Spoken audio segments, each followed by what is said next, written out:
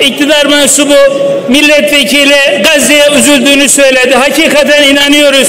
Ama şunu da hatırlatmadan geçemeyeceğiz ki o Gazze'yi Filistin'i bombalayan pilotlar Konya'da eğitildi. O uçakların yakıtı İskenderun'dan gidiyor. O askerlerin, katil askerlerin besini Alanya'dan gidiyor. O askerlerin suyu Manavgat'tan gidiyor. Türlü gemiyle ticari alışveriş devam ediyor. Zaten 20 milyar dolara çıkmış olan ticaret hacmimizde de birinci sırada demir çelik mamullerinin yer alması manida söylemeye dilim varmıyor ama belki o katillerin elindeki silah bile bir şekilde desteğinize gidiyor. Onun için diyorum ki diyorum ki yüreğiniz yetiyorsa gelin burada konuşun gerçekler konuşuluyor. Onun için arkadaşlar üzülmeyin.